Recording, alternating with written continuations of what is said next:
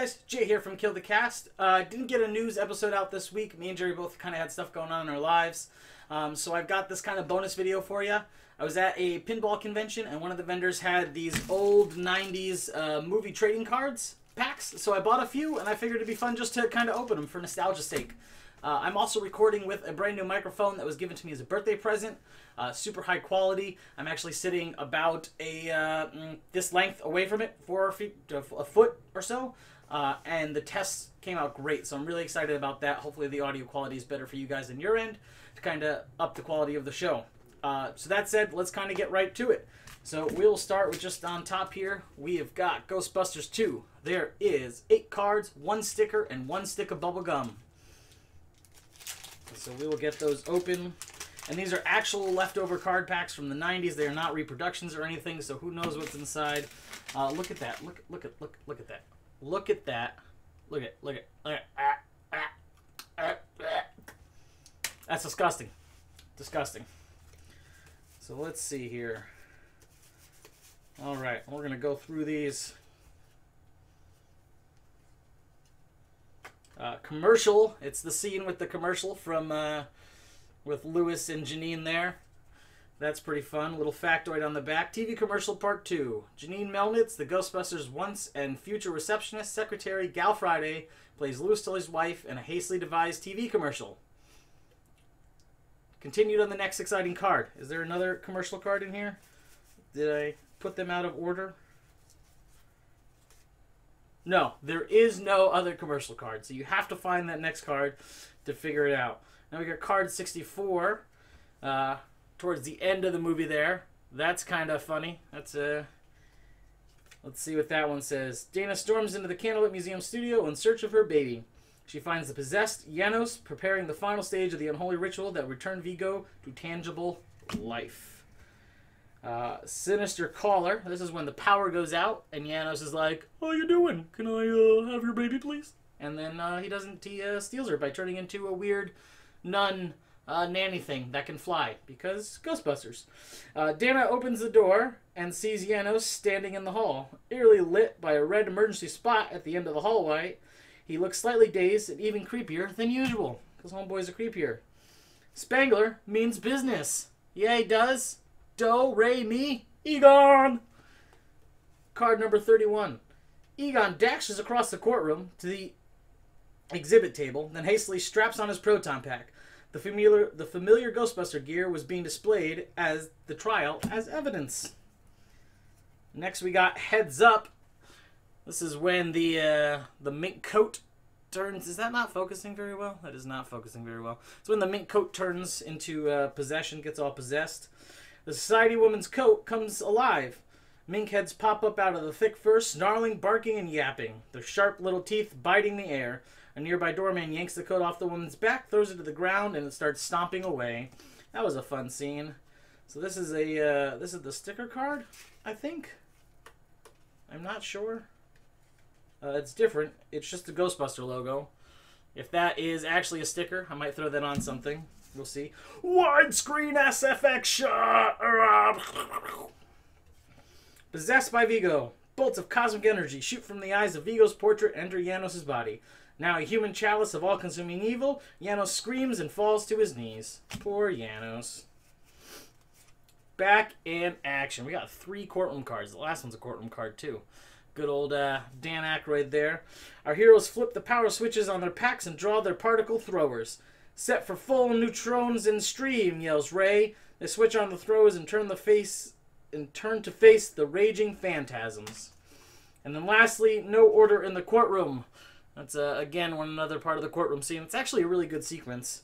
Uh, the astonished prosecutor is swept along by psychic turbulence as the Scoleri operations continue to lay waste to the courtroom. So I'm pretty sure this has to be the sticker card, but I don't understand how to make it a a sticker here. So, who knows? But those are the Ghostbuster cards. So we'll put those to the side and we'll move on here. Let's go with Tales from the Crypt. It's a good show. There's supposedly supposed to be a reboot in the works, but it uh, it never got off the ground, unfortunately. Well, that's cool. Uh, on the back of these, actually, Oh, this is cool. So it's a mix of. It looks like it's a mix of cards. Here, here, we'll just go through them. So we've got uh, the image on the front there, which is a scene from one of the episodes. This blood's for you. And then it has the episode on the back. This one's called The Trap, episode number 27. And this complicated story about an insurance scam that goes awry. Who plays the dead man's wife? Who plays the coroner? And who plays the deceased? Oh, it's trivia. Okay. And then on the back, uh, Teri Garr plays the wife, Bruno Kirby plays the coroner, and Bruce McGill plays the part of the deceased. So that's cool. We've got some trivia on there. No gum in this one, thank God. I don't have to put that in my mouth. The Crypts of Beach. Gotta love those puns. All right, episode 23. After the mortician murders the pharmacist in this story of deadly double crosses, what ultimately happens to the mortician?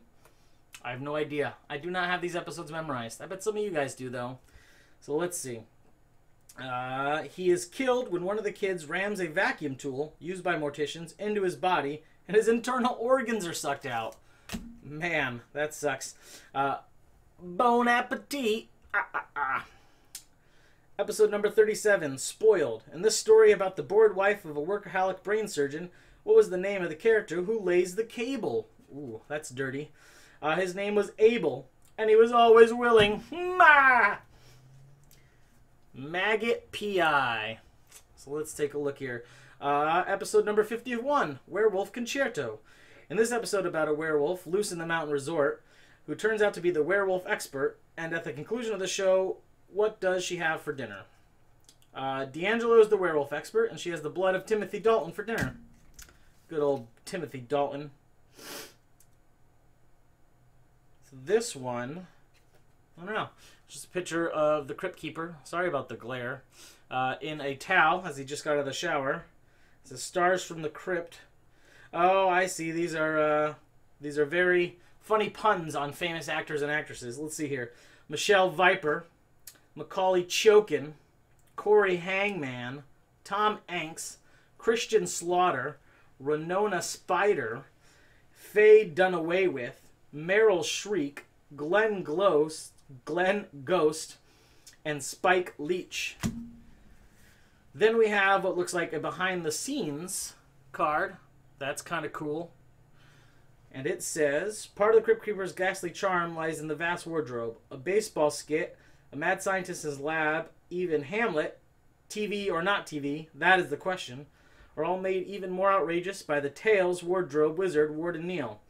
Proving that clothes do indeed make the main yak, Neil and his assistant Melissa Couch outfit the Crypt Keeper in Hollywood's finest. And then the last two cards are actually very cool. They are small reproductions of the comic issues that these episodes are actually based on. So I kind of dig that a lot. Uh, on the back, it says Voodoo Drums, Crypt of Terror, August 1950. So it's information about the actual cover. Uh, it's got the artist on it, uh, the stories inside, who wrote them, uh, and a uh, synopsis. So that's cool. Uh, then this last one here. So that's pretty cool, guys. I uh, I will admit I like those. So yeah, that's uh, that's pretty cool. We'll put those to the side. Next, we got uh, Jaws and Gremlins left. Not sure which one to do. We'll save Jaws for last. We'll go with Gremlins here. Uh, 10 movie photo cards and one stick of bubblegum. That's probably just as gross as the other one. It looks like, I don't know if you can see that. It's like coke dust coming off of it. That's pretty funny.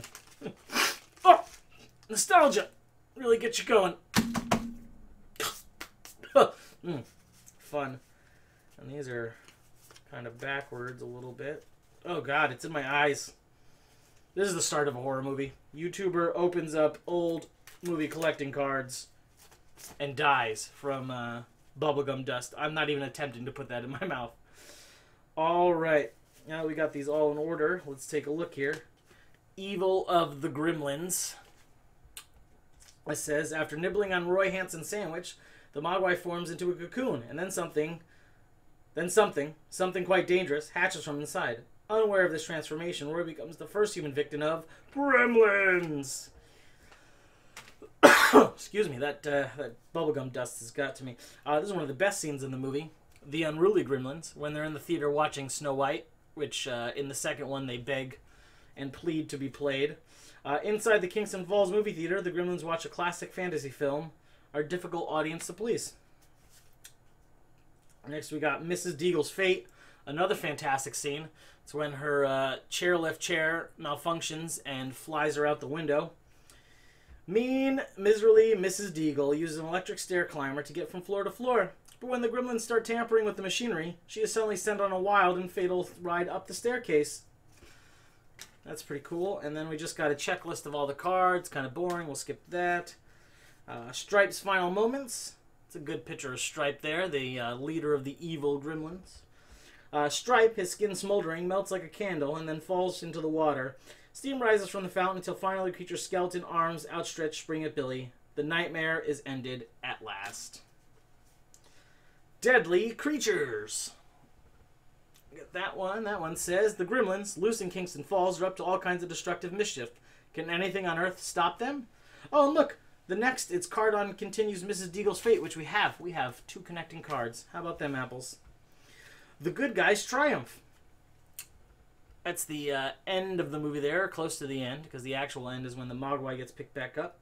As Billy and Kate stand before the Fountain Stripe's final resting place, they are joined by somewhat astonished Rand. What an experience! Yeah, what an experience being chased by monsters. All night. Friend or foe? What are the Mogwai? Where do they come from? The Peltzers are understandably curious about the of these strange, furry little creatures. That one's kind of thicker than the rest of them. Saved by the Flash! Oh no, by a Flash, not the Flash. Sorry, no crossover event in this one.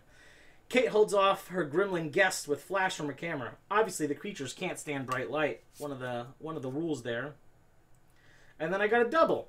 Uh, deadly creatures again, and this one is really destroyed from sitting in the package for so long with that bubble gum. Oh man, that gum. All right, last pack, ladies and ghouls. Uh, Jaws 3D. Uh, with six cards, one viewer, and one stick of bubblegum that most certainly will kill me.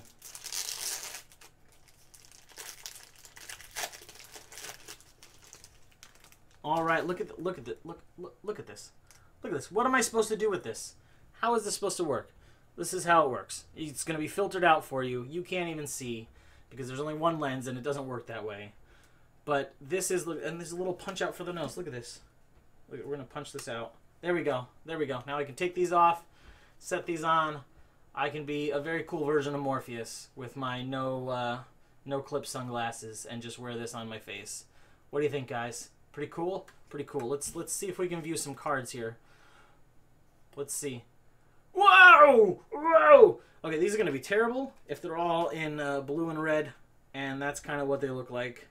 So, yeah, okay, well, there's they're double-sided. So here's the shitty 3D side uh, that you have to be wearing those stupid glasses for. And then there's an actual side, which looks like a scene from the movie. So let's see here. It says, It's a glorious day for all at SeaWorld, the spectacular amusement park aquarium. It's open to the public. So these are sponsored by SeaWorld, I guess? I know it takes place in SeaWorld. So there they are shooting the spear gun at the, the shark there with the crappy 3D. Uh, reporters crowd around Calvin Bouchard as the chief executive of SeaWorld welcomes world famous adventurer Philip Fitzroyce. Yeah, yeah, so that's what those cards are. Uh, a 3D image and a scene from the movie. Oh, here's the death gum. Here's the death gum. We'll, we'll put that aside later for when I want to kill myself after looking at all these cards. Uh, so again, shitty 3D. And the front of it there. And says, unaware of the giant shark, the SeaWorld ski show continues as normal. It's too bad they're about to get eaten forever. That one is actually a really cool drawing. If it wasn't in the silly blue and red 3D, I really like that actually. Uh, and then the front of it says, Mike Brody and Kathryn Morgan enjoy a lover's smooch. A kiss, little kiss, little kissy, kissy, kissy. Uh, there's that one. And then we've got Sea Lovers, which is kind of related to the last card. And it says, introducing Philip Fitzroyce, world famous explorer, adventurer, sea diver, and a special guest at SeaWorld. Good for you. Good for him. And then lastly, we just have a, uh, a checklist of all the cards. And that's it, guys. Uh, yeah, those are the four packs. I hope this was entertaining for you. It was kind of fun to do. Uh, short little video. Oh, we'll be back next week with some news. Lots of news happening over the last couple of weeks, so I can't wait to talk about it with you guys. Uh, well, I've lived a long and healthy life, so Death Gum, take me home.